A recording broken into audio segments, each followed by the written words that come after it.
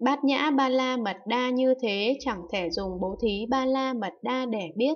vì lìa tướng của bố thí ba la mật đa chẳng thể dùng tịnh giới an nhẫn tinh tấn tịnh lự bát nhã ba la mật đa để biết, vì lìa tướng của tịnh giới cho đến tướng của bát nhã ba la mật đa. Bát nhã ba la mật đa như thế chẳng thể dùng cái không nội để biết, vì lìa tướng của pháp không nội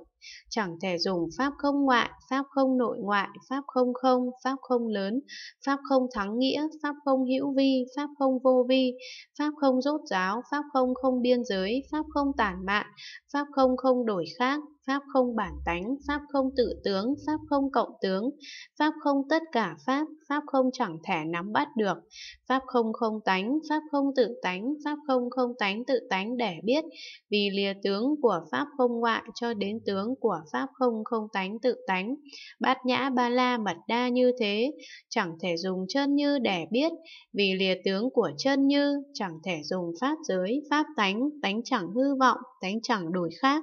tánh bình đẳng, tánh ly sanh, định pháp, trụ pháp, thật tế, cảnh giới hư không, cảnh giới bất tư nghì để biết, vì lìa tướng của pháp giới cho đến tướng của cảnh giới bất tư nghì. Bát nhã ba la mật đa như thế, chẳng thể dùng thánh đế khổ để biết,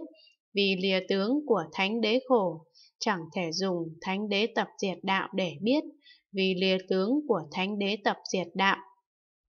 Bát nhã ba la mật đa như thế, chẳng thể dùng bốn tịnh lự để biết, vì lìa tướng của bốn tịnh lự, chẳng thể dùng bốn vô lượng, bốn định vô sắc để biết,